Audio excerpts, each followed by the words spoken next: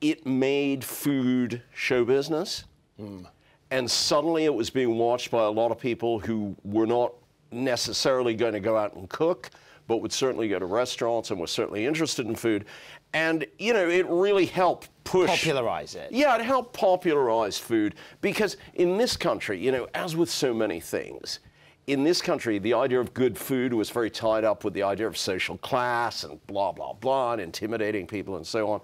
And we wanted to blow all that nonsense away and really democratize and popularize, which I think MasterChef started to do very 100%. successfully. I mean,